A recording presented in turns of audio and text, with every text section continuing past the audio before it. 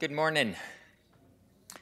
So grateful for those of you that have joined Good Samaritan Society's devotions here at National Campus, as well as those that are joining online. Um, for some reason, our Zoom's not kicking in after the second or third try this morning, so not sure it's live streaming or not, um, but we will record and, and archive it as well.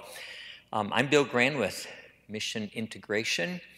And our guest speaker this morning will be Ricky Rohrig, um, a friend of mine, chaplain for the Good Samaritan Society for a number of years, and then worked um, within Sanford in the lead department for a while, and then has gone down the path of becoming an administrator within the Good Samaritan Society and is a part of his AIT training. So the devotion was recorded.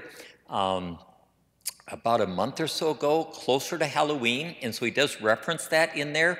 Um, but what it brought back to mind for me is a number, many, many years ago, um, we were looking for those little orange buckets for our girls to go Halloween trick or treat for candy for.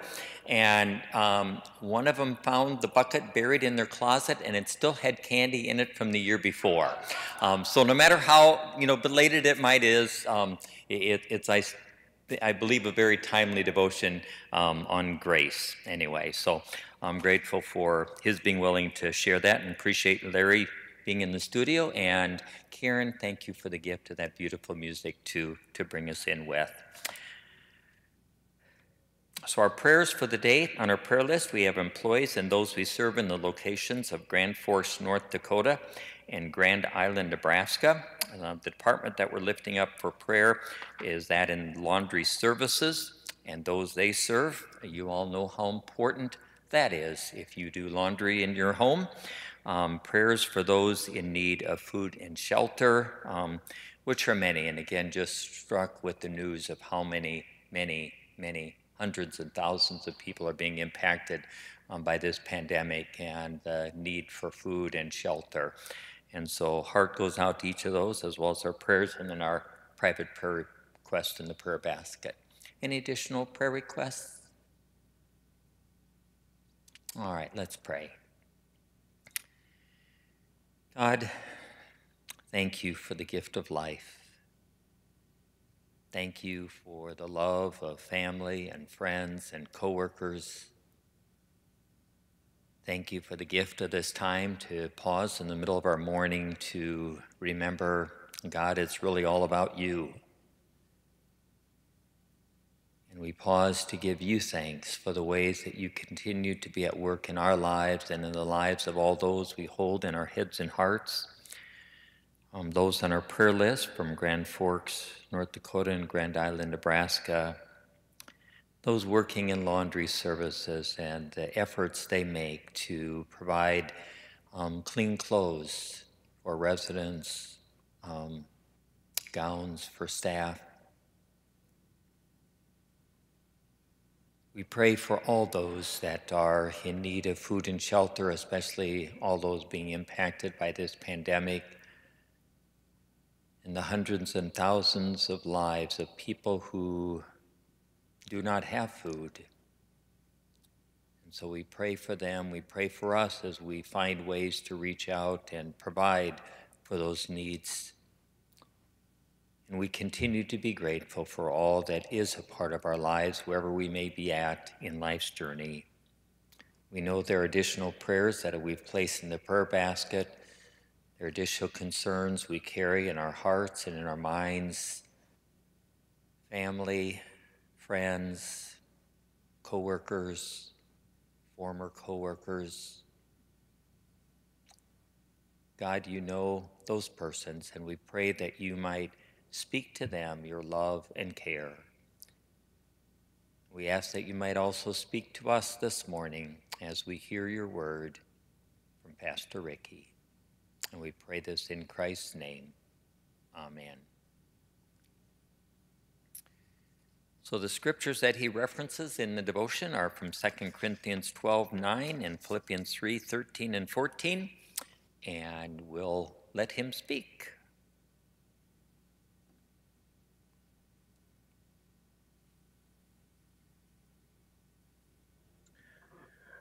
Well, good morning, National Campus. Greetings from Red Oak, Iowa. And uh, we hope that you're having a blessed day thus far. And uh, today I want to talk about uh, grace is greater than your mistakes. Grace is greater than your mistakes. And this is going to come from Second Corinthians 12 and 9 and Philippians 3 13 and 14. Let me read Second Corinthians 12 and 9. And he said unto me, My grace is sufficient for thee, for my strength is made perfect in weakness. Most gladly, therefore, will I rather in my infirmities than the power of Christ may rest upon me. So let me ask you a question this morning. What is your definition of grace? For working definition, let's use these two words undeserved favor. And so, for our time together, some of the information I'm going to share with you and some stories are going to come from Pastor Kyle Idleman from Southeastern Church. And so, I wanted to make sure we give credit where credit is due. Well, the more we recognize the ugliness of our sin, the more we can appreciate the beauty of God's grace. I want to share this story since it's that time of year from Pastor Idleman. He says his son has always taken Halloween trick or treating very seriously. He literally maps out the neighborhood carefully, routing his course so he doesn't miss a single house. This is not about having fun collecting candy. This is a competition to be won by my son, a mission to complete. He chooses his costumes for mobility purposes, and at the end of each competition, he brings his bag of candy in and weighs it. He organizes it. Of course, he gets that impulse from his mama. He separates all the chocolates and freezes them. He recognizes the rest he organizes the rest rather by kind and color. He says, I knew all that, Idleman. But what I didn't know is that he also creates a spreadsheet to track how many pieces of candy he has collected, how many he has eaten, and how many he has left. When he was nine years old, he had a bag of candy that weighed in at 5.8 pounds. He went to bed that Halloween night, and I did what I normally do stole the young child's treasure while he slept. I decided he'd never notice if a few pieces of Laffy Taffy went missing. So I took three pieces and destroyed the evidence. The next day I came home from work and my son was waiting for me. He said, Dad, we need to talk. He sat me down and asked, Is there anything you'd like to tell me? I was now feeling a little nervous and wondered if my wife had sold me out. Then he pulls out a piece of paper with numbers and symbols that I couldn't decode, looked me in the eye, and told me that he knew that I'd eaten three pieces of his Laffy Taffy. I never thought I'd get caught, but it turns out he was keeping track of his candy. I would have tried to deny it to my son, but this evidence was strong, and this was not my first offense. So instead of telling him I was sorry, I took the opportunity to point out some details to my son that he had overlooked. For example, that it was because of me I made his existence even possible. Well, obviously, a few pieces of candy aren't that big of a deal. But here's what I discovered about myself in that moment. When I'm guilty of something, even if it's not a big deal, I have a tendency to be defensive. I do not like to admit guilt. I passionately defend myself, irrationally justify myself, and almost always minimize the seriousness of what I've done. If that's how I respond to being accused of stealing three pieces of Laffy Taffy, chances are I'm not going to respond with much honesty or humility when it comes to the sin of my life. Everything in me wants to deny, compare, minimize, and justify. But as long as I approach my sin with that kind of spirit, I won't be able to experience the power and greatness of God's grace. Here's the ugly truth for us today, my friends. Our ability to appreciate grace is in direct correlation to the degree which we acknowledge our need for it. The more that we realize and recognize the ugliness of our own sin, the more we can appreciate the beauty of God's grace. You know, the Bible kind of holds up a mirror and confronts us with our reality of our sin. In Romans 3 and 23, it says we've all sinned and come short of the glory of God. You know, we work hard convincing ourselves, don't we, and others that we're not that bad. But the truth is, we're worse than we ever imagined. The more you push back on that, the more you push back on experiencing God's grace. It's more beautiful than your brokenness and your past. Paul tells the church at Philippi in Philippians 3 13 and 14, Brethren, I count not myself to have apprehended, but this one thing I do, forgetting those things which are behind me and reaching forth unto those things which are before. I press toward the mark of the high prize of calling of God in Christ Jesus. You know, the worst thing that could happen is when you spend your life trying to relive the past, focusing on past decisions, mistakes, and regrets, and you miss out living in the present. Well, God's grace redeems all of our past regrets. Let me ask you, what past regrets do you have that keep coming up? I want to share another story from Pastor Idleman as we get to close this uh, portion of our devotion in a moment. It was a Thursday night, and I was lying in bed next to my wife. She'd already fallen asleep. I was awake, staring at the ceiling, thinking about my sermon for the weekend. The focus of my message was on learning to live with regrets. The grip, the grip of regret can be more demoralizing than it can be paralyzing. We can't seem to move forward because we obsess over something that has already happened, something that can't be unwound or undone. A regret tends to focus on a specific moment, a time and a place that you did or didn't do something, and now you have to live with those consequences. As I lie there thinking and praying about my sermon, Idleman says, I suddenly hear this crash come from the bathroom. I hopped out of bed, ran in, and saw that the full length mirror that had been hanging on our closet door had fallen off and it was on the floor in pieces. When the mirror fell, it exposed something I did that I deeply regretted. It exposed a hole in the closet door. How did that closet door end up with a hole in it? I was afraid you'd ask that. Though I suspect you could probably guess. I got into an argument with my wife, and to be honest, I don't remember what it was about. But I got so angry, I lost my temper and I punched a hole in the closet door. I really didn't want to tell you that. The whole thing happened so fast in a matter of seconds, and I wish it wouldn't have happened. I wish I could go back and be patient and a gentle and kind husband. I wish I could have responded with humility and self control, but I didn't.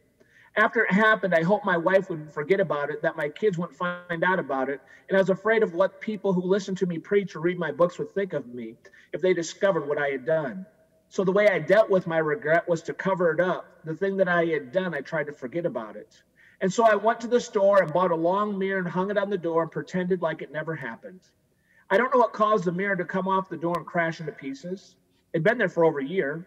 I suppose the adhesive was holding the mirror to the door wasn't strong enough and eventually it couldn't hold it. That's a possibility. But what I suspected that God was listening to me pray about a sermon that would challenge people to deal with their regrets and decided to flick the mirror off the door to remind me that I have some regrets of my own that I need to be brought out of darkness and into the light of his healing grace. I stood in that closet, I looked at the hole in the door and then down at the broken mirror on the floor. I could see my own reflection in the broken pieces. The metaphor was hard for me to miss. I think to myself as a patient, kind, humble man who doesn't take himself too seriously. That's how I see myself, and that's the image I want others to have of me, especially my wife. I bent down to start picking up the broken pieces of the mirror, and I couldn't help but see myself in the pieces. I wish I could go back and do things differently, but I'll forever be a husband who got mad and put his fist through a door. The crash woke up my wife. She came to the closet, found me on my knees, picking up the glass. I'm not much of a crier, but I was crying, and she knew it wasn't because I was specially attached to the mirror. I'm not sure I had ever really told her I was sorry, but I was ready to repent. Through the tears, I told her and God I was sorry for what I had done. She walked over to me, and I rested my head on her stomach and cried. I felt her fingers running through my hair, sharing my regret and repenting for what I had done, rather than covering up or keeping it to myself. It put me in a position to receive some grace and we finished picking up the broken pieces together. Well, I want you to know today, my friends, that God's grace is powerful enough to erase your guilt. His grace is big enough to cover your shame. His grace is real enough to heal your relationships. His grace is enough to hold you up when you're weak. His grace is sweet enough to cure your bitterness. His grace is satisfying enough to deal with your disappointment. His grace is beautiful enough to redeem your brokenness. And His grace explained is necessary, but grace experience is essential. Well, as we close today, will you let your past mistakes destroy your life, or will you let them become a trophy of God's grace? If we realize our need for God's grace and submit ourselves to Him, His grace will transform our lives. You have the choice to accept, receive, and live in God's grace, or to be graceless. So now it's your chance to say goodbye to the goof ups, release the regrets, say see you later to the shame, and minus the mistakes in your life. God's grace has, is, and always will be available to you if you want it, when you need it, and all you have to do is desire for Him to give it to you so you can receive it. Pray with me today. Father God, we thank you for your amazing grace, undeserved favor, not something we can work for or earn for. It's just something you do as you give us as a gift because we are your children. God, let us respond in grace. Let us give grace and let us be the ones that are the grace givers and grace receivers. Today, when somebody maybe rubs us in the wrong direction or says something that we didn't like, let us be like God, who gave the ultimate example of his grace through our Son, Jesus Christ, to be receivers of the grace, to live in grace, to show grace, and to be people of grace. We pray this in Jesus' name. Amen.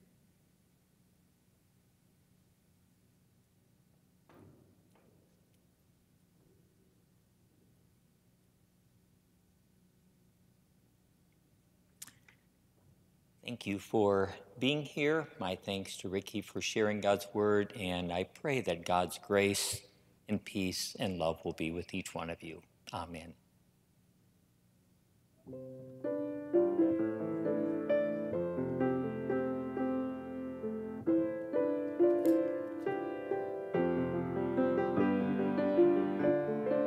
Hey, Keith.